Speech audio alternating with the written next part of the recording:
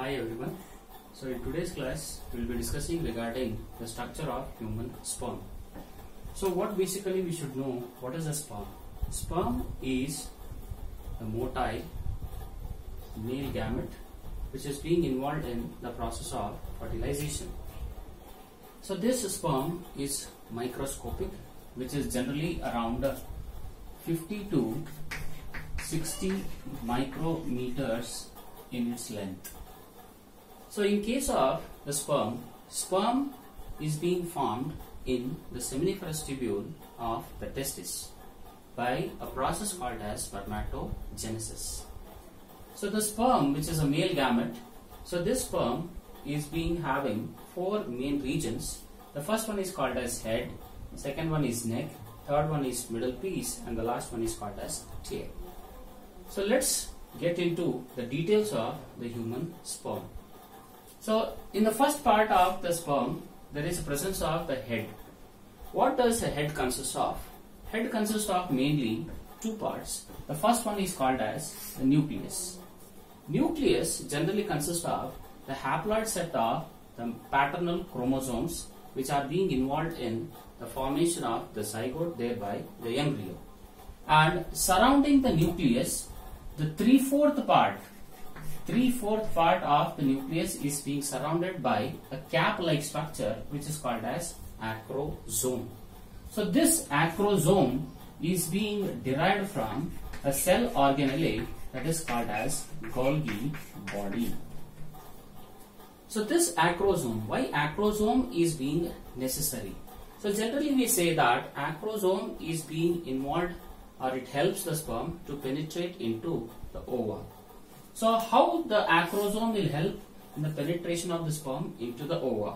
That is because this acrosome consists of a group of enzymes which we collectively call them as sperm lysins. So these enzymes which are present, so they are first one is called as hyaluronidase, second one is called as corona penetrating enzyme, third one is called as zona lysin or it is also called as acrosin. So what is the function of the hyaluronidase? Hyaluronidase is the enzyme which dissolves the hyaluronic acid which is being present between the two corona radiata cells. So generally the function of this hyaluronic acid is to fix the corona radi radiata cells permanently or stiff.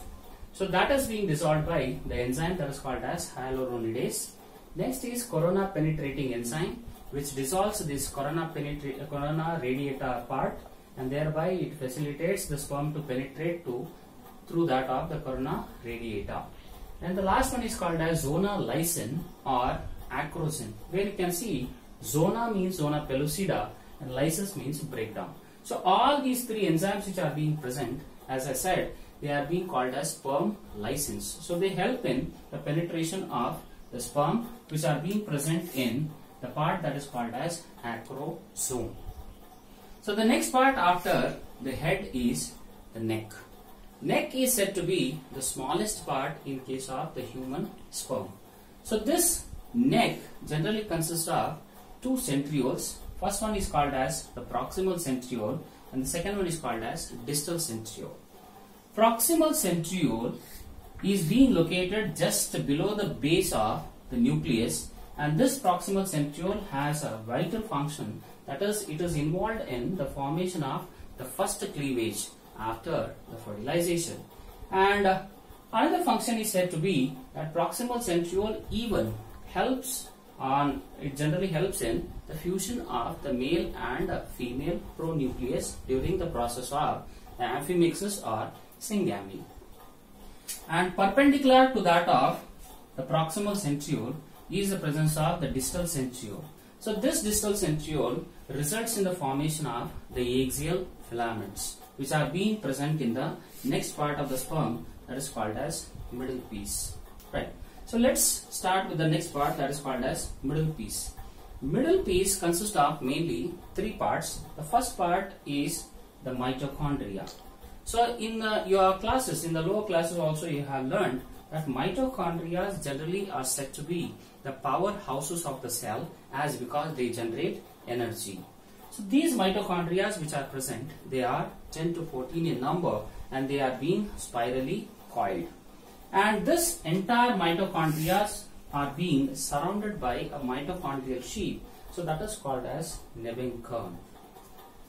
And uh, other than that of the mitochondria, there are presence of the bundle of axial filaments and these bundle of axial filaments are collectively called as axoneme. So this axoneme and Nebenkern together they are being covered by an another membrane. So that another membrane is being called as manchette. It is called as manchette. And at the lower part of the middle piece, we are able to see there is presence of an another centriole here, which is called as ring centriole. Now, what is the function of this ring centriole, which is being located at the base of the middle piece? So, ring centriole generally acts as a barrier between the middle piece as well as the principal piece of the tail. Thereby, this ring centriole gives the stability to that of the sperm and the middle piece generally also as it consists of the axoneme as it consists of the mitochondria this gives the main support to that of the structure of the sperm. So last part is what we have is the tail. So the tail which is being present so main function of this tail is it is involved in swimming. It, as it consists of the flagella so this flagella when it continuously beat so that facilitates the sperms to move. That is what I said. The sperm is microscopic, motile, male gamete. So that motility is being brought about by the tail. So this entire tail is said to be the longest portion in the sperm.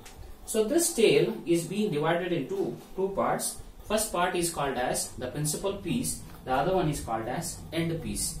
So principal piece is being covered by a thin membrane and uh, the end piece which is present that is without any membrane. So that is completely uh, naked. Henceforth it is called as the end piece. Okay?